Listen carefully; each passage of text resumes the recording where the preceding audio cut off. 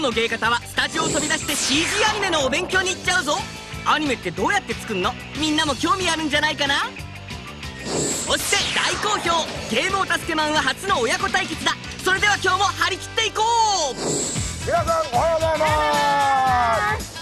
えー、今日はですね、はい。まあ、いつも情報満載の芸方なんですけれども、はい、あの今回はですね、ゲームには今欠かすことができない CG アニメ CG アニメですか、えー、コンピューターグラフィックスアニメーション何言ってるか全然分からなかった今言い方おもろい今あの下にあのカタカナで振りが出てますから。出てますか？あの CG アニメっていうのをね、うん、どういうふうに作ってるのかっていうのが分かれば、うん。うん、ゲームの面白さっていうのはこれ倍増なんです。よ今日はですねその CG の基礎から応用まで教えてくれる、うんうん、こちらそうへはい。はい 今下にちゃんと字幕出てますから。えー、アニメ研究所。ここで遊びます。あいや遊ぶんですか。遊ば遊ば遊ば遊ば最新ゲームを再現するこちらのコーナーからどうぞうわ待て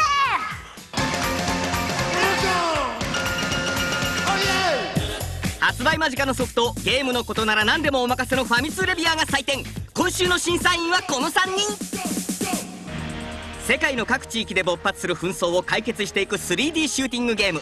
戦闘は対空戦だけでなく敵の軍事施設を破壊する対地戦も用意されてるぞ。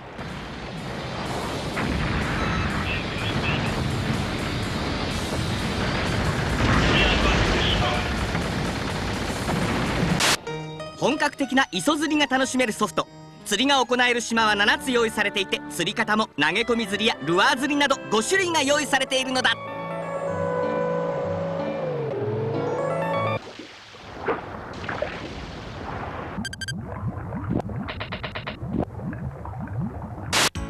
俳優の松方弘樹が出演監修している釣りソフト。カジキ釣りとブラックバス釣りが楽しめるぞ。魚たちがポリゴンで描かれているのも特徴の一つなんだ。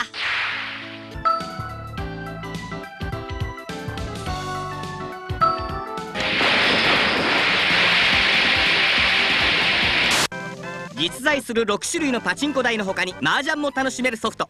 ニフティーサーブのパチンコフォーラムを利用して出玉数を競い合うモードなどが楽しめるぞ。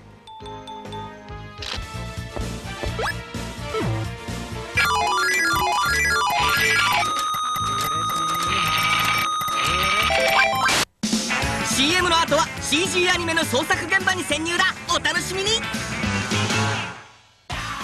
この番組はご覧のスポンサーの提供でお送りしま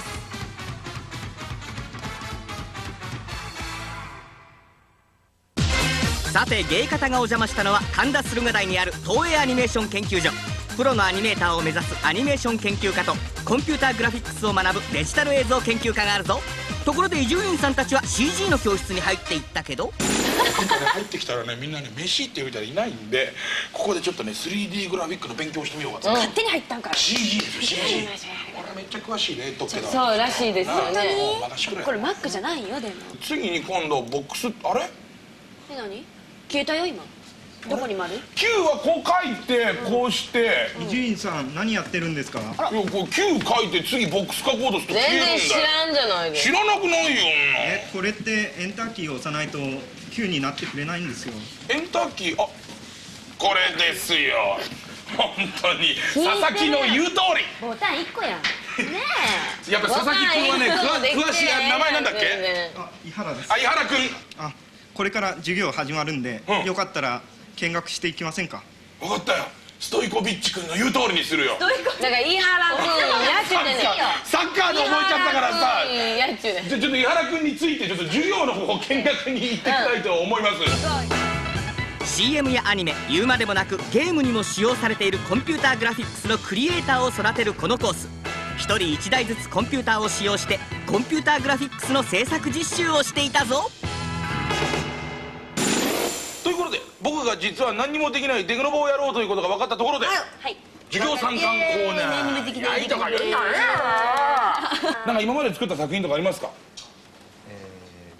すごいすごい。おおなんかちょっとガンダム。おお今のロボットのこう首から下作り上げるまでで大体何日ぐらい学校来ました？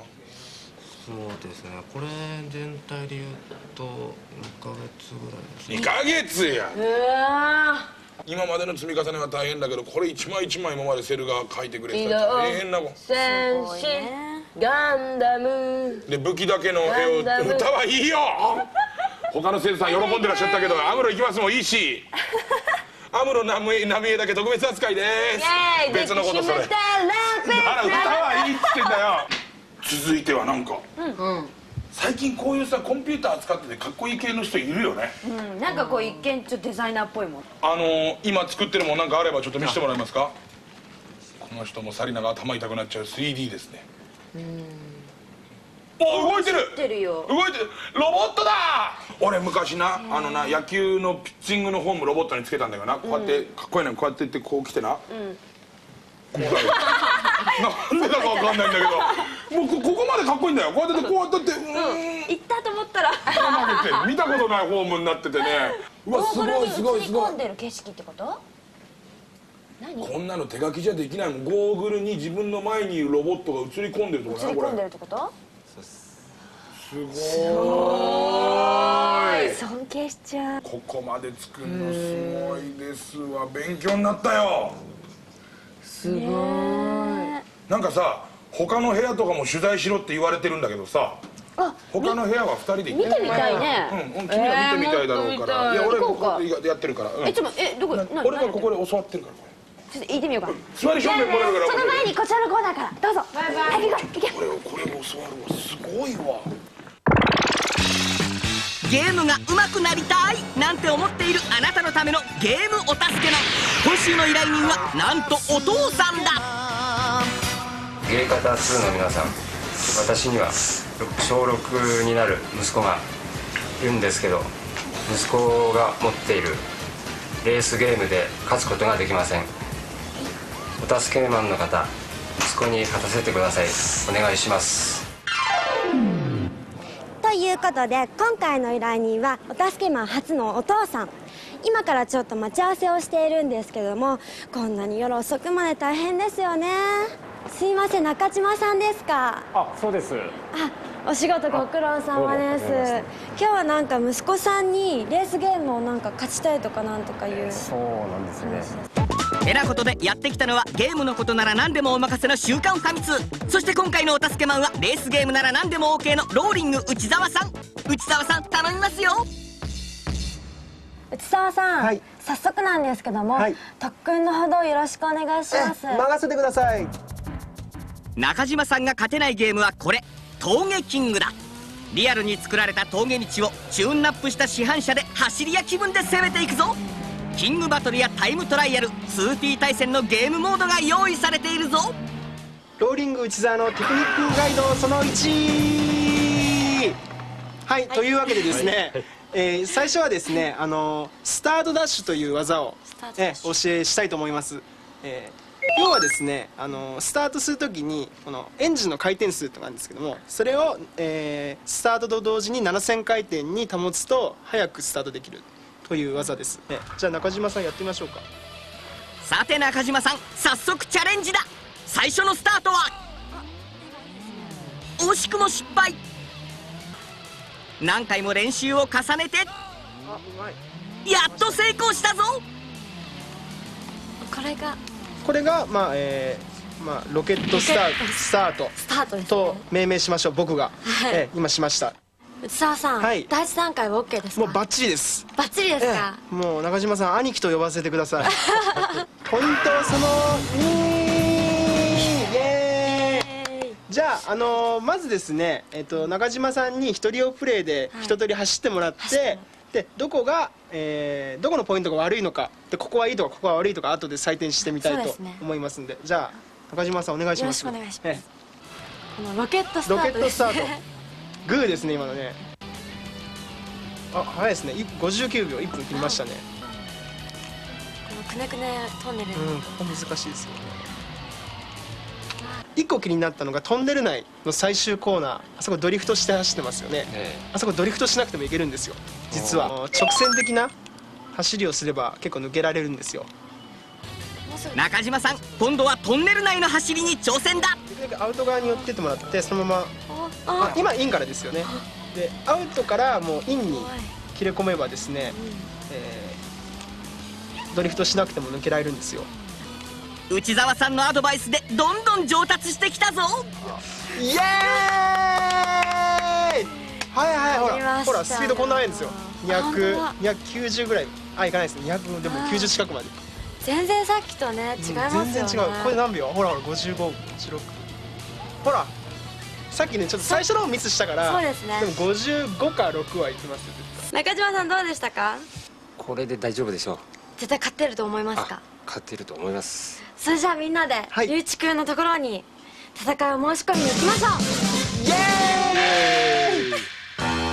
自信を深めた中島さん軽い足取りで息子さんの待つ自宅へ帰宅。さて勝敗はどうなるか？中島さん早速今日対戦する相手を紹介してください。はい。長男の龍一くんです。どうもはじめまして。はじめまして。じゃあやっとここで対決となるわけなるわけなんですけども。そうですね、緊張しますいよいよ息子さんとの対決だ。練習を重ねたロケットスタートは。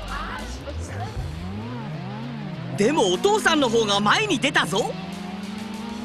あ大丈夫大丈夫お父さん龍一君に追いかけられてるぞ。頑張れ。さていよいよトンネルだ。うまく抜けられるかな？あうまい。突破の精が出てますよ。まだわかんない。3周目に入って龍一君に差をつけられてしまったぞ。ゆういちくんちょっと止まってみようか。みんなで応援してあちょっと止まってますよ。本当に止まってますね お父さん舐められてますよ。困ったねこれ。龍一君余裕でゴール。負けちゃいましたね。内田さん。はい。うちの代わりにぜひともやってもらえません？ぼ僕がですか？そうです。小学生相手に楽勝じゃないですか。喧嘩だったら勝てるんですけどね。あ失敗した。ロケットダッシュ内澤さんもスタート失敗。どうしたんだ？あもういや抜かれもう車体をぶつけてでも絶対抜かせない。それ大人に嫌な感じ。あー抜かれた。龍一君にあっさり抜かれて大きく引き離されてしまった内澤さん。これでは逆転不可能だ。あゴール。ですゴー。ルめちゃくちゃ早いですね。53秒2回も出したね。ということで龍一くんのお父さんもお助けマンの内澤さんも龍一くんに乾杯でした。どうもすいませんでした。弟子にしてください。よろしくお願いします。いいですよ。イエーイ弟子になったぜ。これから昇進したいと思います。本当の車だったら負けないんだけどな。伊集院光の作った CG っての見てもらうから。盗みたいものは盗んで。もうどんどんね。ほいじゃあスタート。楽よそのままデジタル映像研究家に居座った伊集院さん。自分の作った CG 作品を自慢してますね。一応このキャラクターがねおっぱいっていう名前。ね僕のキャラクターの特性としてはねカエルさんとかクマさんとか可愛いものが多いんだよなぜかっていうとねかみさんが喜ぶんだね。うん。それ以外のほらかみさんあんま喜ばないんでね。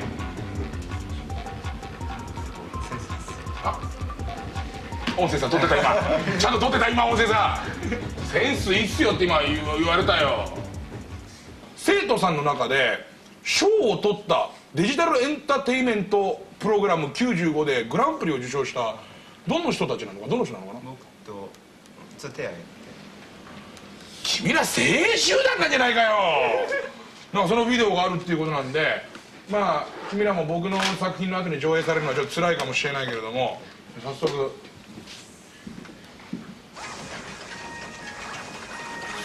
すごいもんね。きっと今の時間見てるお父さんとかの世代の人たちはさこういうプラモデルっていうか人形なんだなと思うよね絶対ね。すっげえなおい。なんかいいねなんかみんなで一つのチームで作ってて。うわかっこええわすごいわ。なんかこのスタッフがそのままドリームチームみたいになってすごいもんもし作るかもしれないじゃない。したら未来君らの作った CG アニメの片隅にでいいからおっぱいくん。あれ僕気に入ってるキャラクターなんで。ねわかりました。使ってくださいよ今日はなんかね。僕はね感動しましたよ。やっぱり CG だよな。若者に俺もね触発されたね。画面撮んなよお前。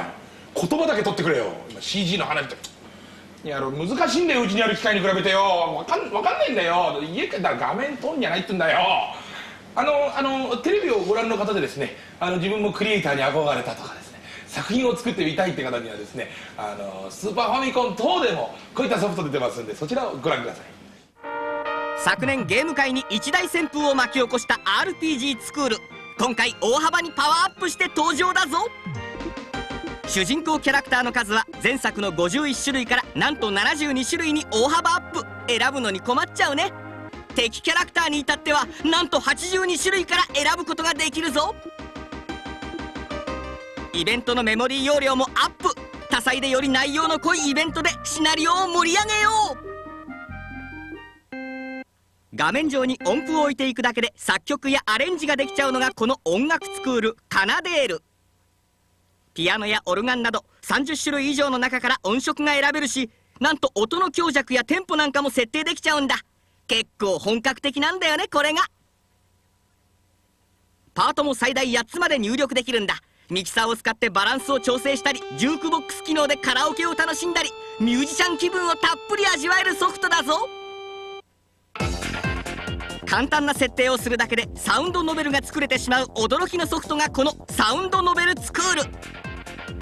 まず各シーンのタイトルとなるテキスト名を決めよう。そしたらいよいよシナリオ作り文字を選んで文章を作ろう。さあどんな話を作ろうかな？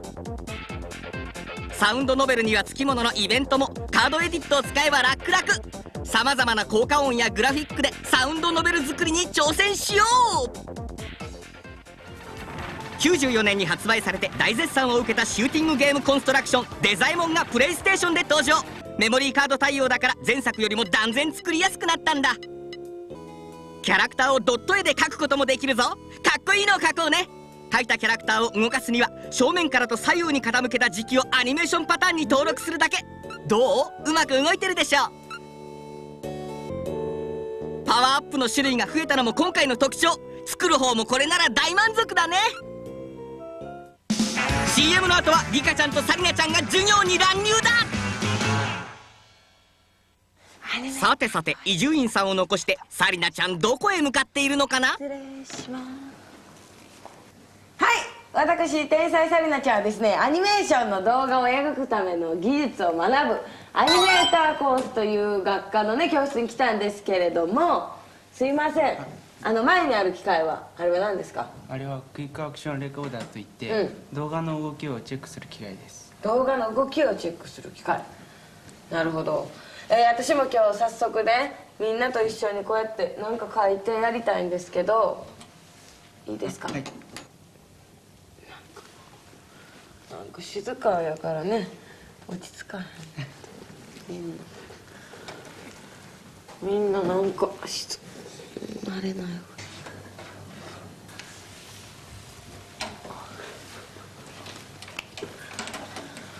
疲れんなこの授業な。ほんでまたその長い長い線描かなあかんところがあるからそれまたね長い線描く時あの息止めんといかんでこれ息止めんとってこう中にはあの窒息するやつもおるからちょっとそれが気ぃ使うああなるほど。みんななんかほらこんなないの書いてるやろ？うち馬？うち馬か？いやー動画はやっぱ馬が基本やから。馬が基本。馬基いやこれはテクハイテクじゃないとできひん。本もうこれはもうプロじゃないともう。神の領域だね、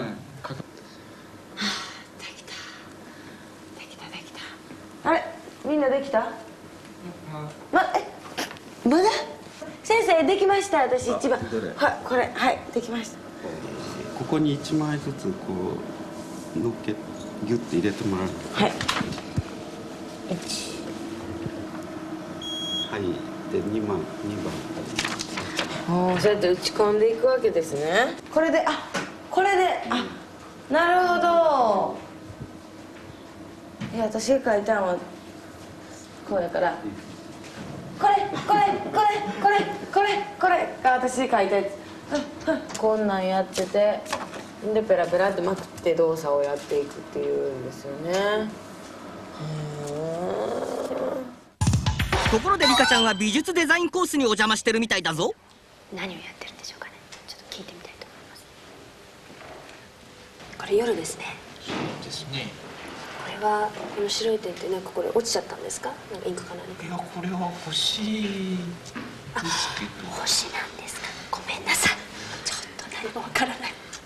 すいませんでした。どうぞお続けください。こんにちは。こんにちは。よろしくお願いします。こちらの美術デザインコースでいいんですよね。はい。あの主にどんな勉強をなさってるんですか？ここはあのアニメーションの背景美術のことを勉強してます。背景ですか、はい。えー、これなんかちょっと見てるとねなんか私にも書けそうかななんて思っちゃうんですけれどもちょっと。やらせていただけないでしょ書うか、いてみますか？あいいですか、じゃあ失敗するかもしれないですよ、はい。あいいんですか？こちらのあの星をちょっと星ですか？入れてください。星なら大丈夫だと思います。これ星書けばいいんですよねもうね、あと星を足してください。こここが夜空ですもんね。はい。じゃあちょっと行かさせていただきます。私もちょっと絵にはね自信があるつもりなんですけどね。こんな感じですかねこういうのもいいかな。これは書くというよりもええ。あの絵の具を落とす。落とす？はい。そういう感じですね。こういう感じで持って持軽くってトントンと。あちょっと大きすぎましたね。これ。あ言い忘れましたけど。これ大きいですよ。はい、よくあのちょっと絞ってからやってください。あ絞頭を使えっていう感じですよね。もう絞ればいいんですよ絞れば。あ今度長出ないですね。先生出ないですね。あこんな感じですか？あいいですね。いいですね、はい。どれくらい散りばめ？るあのもういいんじゃないでしょうか。もうもういいですか？東京はあまり星が見れませんからね本当。どうですか？できました？星です理科が書いた渋谷の星。というわけで今週はですね、はい。えー東映アニメーション研究所の方からですね、うんうん。まあ、CG アニメというのはどういうふうにできるのか、ねえ。もしくは最近のアニメっていうのはどういうふうにできてるのか、そん。なことを勉強してまいりましたけれども、はい。サリナさん感想はどうですか？じゃあ面白かったんやけどあんま私には合わないリカちゃんはどうでしたか？でも私はね俳句ゲームもそうですけれども。先週から言ってますねもうね。ハイくんゲームのグラフィックさこの人たち頼んだらすごいでもうね。リアルなハイくんが。そうでも自分で作りたいからやっぱりちょっと挑戦してみようかなと思いましたよこういう人もいますよね、うん。もちろん自分のこのゲームとかがあコンピューター一台でもしかしたら自分の思い通りの形に出来上がるかもしれない。そうよ。だからそういうね興味を持った人なんかがいたらですね、うん。ぜひ例えばこれからいろいろ進路とか決めるときにこういうところをこう参考に入れてもらうそうだのもいいですしね遊びに来るのもいいと思うしね。あと覚えてくれて我々企画の俳句ゲームを作ってくれるのも俳句ゲーム。ね、はい。いいですね。やりたいでしょ？まあこれからこういうね知的な回も含めてですね、はい。素敵な回。いろいろ芸方面白くしていきたいと思います、はい。それでは今週はこの辺で。バイバーイ。バイバ今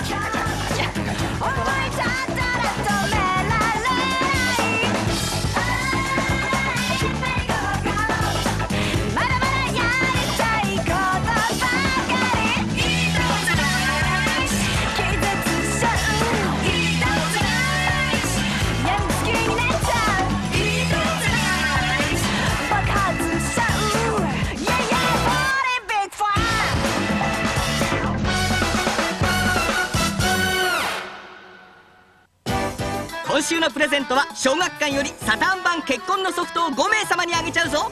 番組の感想意見などを書いてどしどし応募してね。ゲームカタログ2ではゲームのシナリオゲームの噂などゲームに関する企画を募集しているぞ。みんなもどんどん応募してくれよな。待ってるよ。さて次回のゲームカタログ2は昨年12月にオープンした日本最大級の屋内型テーマパークネオジオワールドからゲイ方出演者によるアトラクション対決だ。そして大人気のゲームの噂のコーナーもあるぞ。絶対見逃すなよ。